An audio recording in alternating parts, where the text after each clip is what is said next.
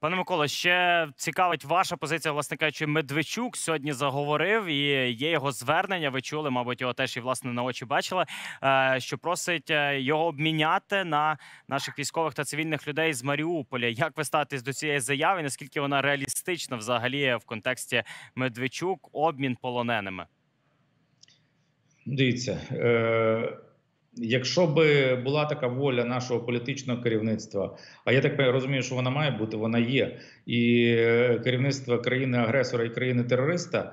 То я не бачу тут великих проблем щось е, таке робити. Спочатку його треба засудити, наказати в Україні, а потім можна його обміняти і врятувати життя людей. І все це можна зробити оперативно. У Мене немає переконання, що Медведчук комусь цікавий в е, країні агресорі.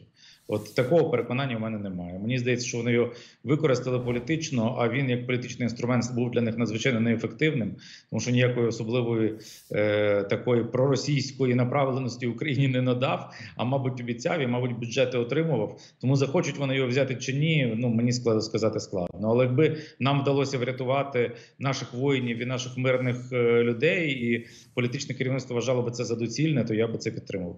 Ну, зрештою, його дружина Марченко зверталась до усіх, буквально так, щоб його обміняли. І, взагалі, е, це елемент певної гри спецслужб Росії. Ті звернення саме з Москви, де Марченко сидить і постійно наголошує, що потрібно віддати її чоловіка, обміняти навіть на британських е, військовослужбовців, які перебувають в полоні. Е, що це за гра на вашу думку від ФСБ? Ну, дивіться, Медведчук був власником величезної кількості антиукраїнських телевізійних каналів, які потім українська влада закрила. Але ці канали працювали дуже довго. Їхні ведучі, правда, зараз е, ведуть основні телевізійні марафони на українському телебаченні і взагалі дуже часто не змінили свої погляди, але це зовсім інше питання. А, І звичайно, його шкода, яку він наніс державі е, і українцям, вона є надзвичайно великою. Ті справи, які йому інкримінуються вони не про цю шкоду, тобто вони значно дрібніші, аніж та шкода, яку дійсно Медведчук наніс державі. Е, І через те я переконаний, що він мав би відповісти перед українським законом. Але якщо справді є воля політична політичного керівництва українського і є готовність агресора е, відпустити чи звільнити українських полонених, то звичайно українське життя і українське життя набагато дорожче, ніж життя Медведчука.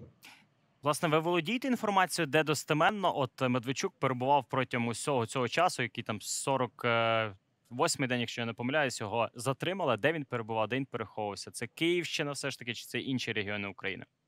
Ну, була офіційна інформація від СБУ, де один з його охоронців стверджував, що це було в місті Києві, навіть адресу називав.